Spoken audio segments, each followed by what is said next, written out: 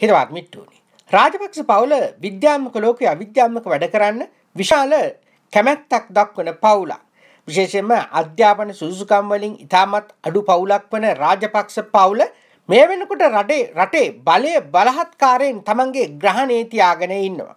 විශේෂයෙන්ම රාජ්‍ය මාධ්‍ය යොදා ගනිමින් තමන්ගේ ප්‍රචාරක වැඩ කරන මහින්ද රාජපක්ෂගේ පවුල නිරන්තරයෙන්ම යන්ත්‍ර මන්ත්‍ර ගුරුකම් කෙරෙහි විශාල විශ්වාසයක් තියෙනවා. මේ ප්‍රතිඵලයක් විදිහට මුළු රටම අද්ද වෙනකොට පිස්සන් කොටුවක් බවට පත්වෙමින් තිබෙනවා. විශේෂයෙන්ම පවතින වසංගතයේ හමුවේ ජාත්‍යන්තර වශයෙන් ඉදිරිපත් කරලා තියෙන විද්‍යාත්මක විසඳුම් කරා යනවට වඩා කොහෙවත් ඉන්න පැණිමෙඩෙක් කරපු වෙදිකමකට මෙතරම් වටිනාකමක් ලබා දීලා තියෙන්නේ රාජ්‍ය මාධ්‍යමගෙන් ප්‍රචාරයක් ලබා දීලා තියෙන්නේ මේ විශේෂයෙන්ම අවිද්‍යාත්මක වශයෙන් රජය කරගෙන යන වැඩපිළිවෙල නිසා විශේෂයෙන්ම රාජපක්ෂ පවුලෙවුන් බලය අතාරින්න කැමති නැහැ අතෑරියොත් Tamanට සිදුවෙන විනාශය බොහොම පැහැදිලිව ඔවුන් දැනගෙන ඉන්නවා. විශේෂයෙන්ම මහින්ද රාජපක්ෂ කියලා කියන්නේ ලංකාවේ ඕලෙවල් අසමත් එකම නීතිඥ මහත්මයා. රාජපක්ෂගේ ලොකු කොල්ලා. ඒ කියන්නේ නාමල් රාජපක්ෂ නීතිඥයෙක් වුණේ නීති විද්‍යාලයේ විභාග වංචා කරලයි කියන කාරණේ අද වෙනකොට හේතු සහිතව සාක්ෂි සහිතව ඔප්පු වෙලා තිබෙනවා. ඒ වගේම නාවික හමුදාවට මැදලා ඉන්න කොල්ලා හොර අධ්‍යාපන සුසුකම් ඉදිරිපත් කරලා තමයි ඒ තනතුරට ගියේ කියලා අද ඔප්පු වෙලා තිබෙනවා. රොකට් රෝහිත නිරන්තරයෙන්ම කයිවාරු ගහනවා තමන්ගේ අධ්‍යාපනය කරේ මිනිස්සු විශාල වශයෙන් ඉරිසියාවක් දක්වනවායි කියන කාරණය.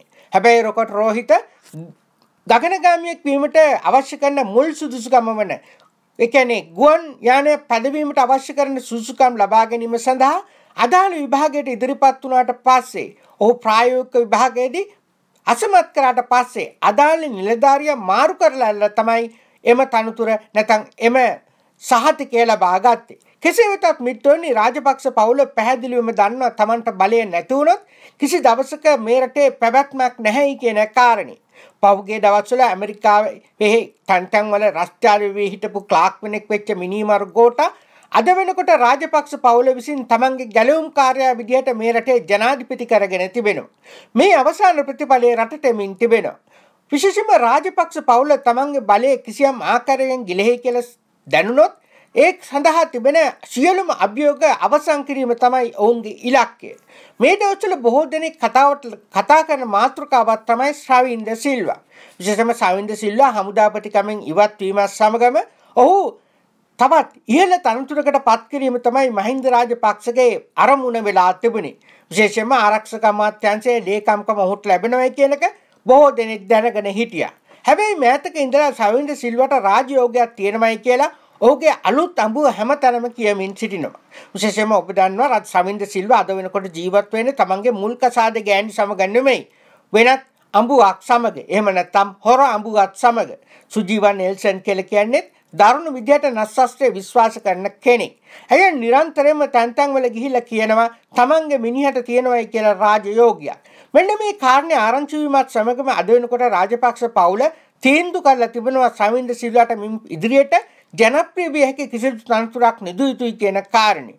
ඒ නිසා ඔහුට ආරක්ෂක අමාත්‍යාංශයේ ලේකම්කම නොදී ඔහු තානාපති කෙනෙක් කරලා පිටරට යවීම තමයි දැන් රාජපක්ෂ පවුලේ තීන්දුව. මේක සමගම සවින්ද සිල්වා ඉන්නේ දැඩි ලෙස කුපිත වෙලා. විශේෂයෙන්ම තමන්ගේ ගෑණිගේ කටවාචාලකම නිසා තමන්ට මුහුණ දෙන්න සිදු වෙලා තියෙන කාරණය ගැන ඔහු කුපිත වෙලා ඉන්නවා. අපි නිරන්තරයෙන්ම කියන කාරණය තමයි හමුදාවේ ඉන්න මිනිස්සුන්ට ලොකු ඇඟකුයි පුංචි මොලේකුයි තියෙනවයි කියන කාරණේ.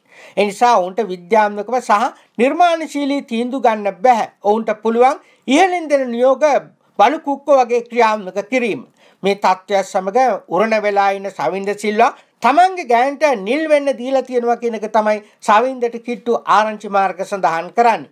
විශේෂයෙන්ම අපේ රටේ ඉහළ හමුදා නිලධාරීන් බහුතරයක් අමානුෂික ලෙස හැසිරෙනවා මානවිකම් උල්ලංඝනය කරනවා කියන එක සාමාන්‍යයෙන් පොදු කාරණයක්. හැබැයි සවින්ද සිල්වා තමන්ගේ ගෑන්ට නිල් වෙන්න ගැහුවයි කියන කාරණය මේ වෙනකොට බොහෝ දෙනෙක් කතා බහ කරන මාතෘකාවක් බවට පත් වෙලා තිබෙනවා.